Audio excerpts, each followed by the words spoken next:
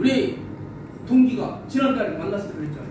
제가 우리 선배 형님 목사님한테 얘기했잖아요. 동기가 보이스피싱을 당했대. 뭔 얘기인데? 보이스피싱. 자기가 헌금을 뭐로 내왔던 그 헌금을 다 보이스피싱을 당했대. 그래서 뭐라고요? 왜 내가 보이스피싱을 당했는지. 그럼 내가 그랬죠. 그 시간표가 언제나? 그 시간표가 혹시 교회 어? 그 저기 동기가 내놓은 교회 그거 살까 말까 했던 그 시간표 이후야?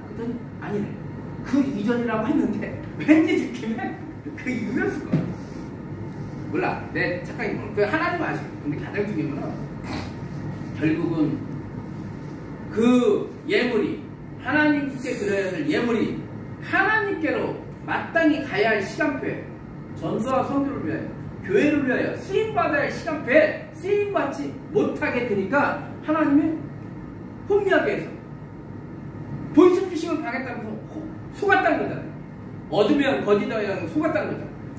그러니까 하나님에게 드려야 할 예물을 갖다가 사단은 하나님께 쓰임받지 못하게 하나님께 쓰임받지 못하게 사단은 그 예물을 어떻게 해요?